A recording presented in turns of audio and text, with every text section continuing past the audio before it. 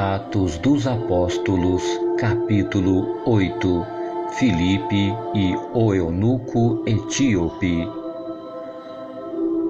Um anjo do Senhor disse a Filipe: Apronte-se e vá para o sul, pelo caminho que vai de Jerusalém até a cidade de Gaza.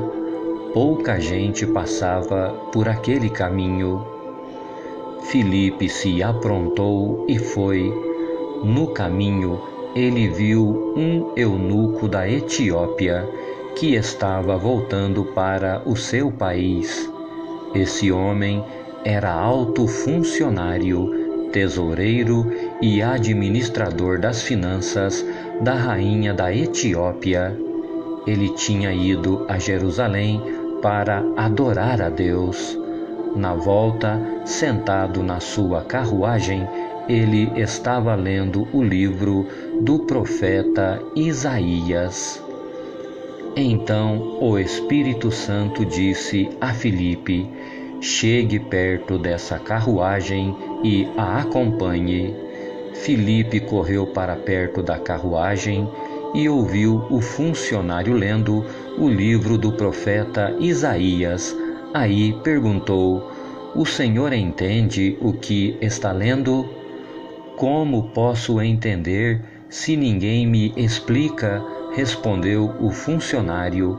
Então convidou Filipe para subir e sentar-se com ele na carruagem.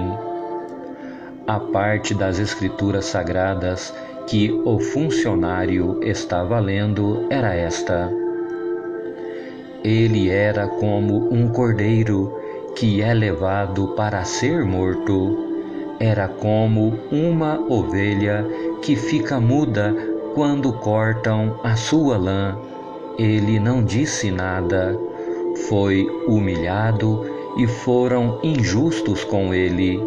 Ninguém poderá falar a respeito de descendentes dele, já que a sua vida na terra chegou ao fim. O funcionário perguntou a Filipe: Por favor, me explique uma coisa: de quem é que o profeta está falando isso? É dele mesmo ou de outro? Então, começando com aquela parte das Escrituras, Filipe anunciou ao funcionário a boa notícia a respeito de Jesus. Enquanto estavam viajando, chegaram a um lugar onde havia água então o funcionário disse: Veja, aqui tem água. Será que eu não posso ser batizado?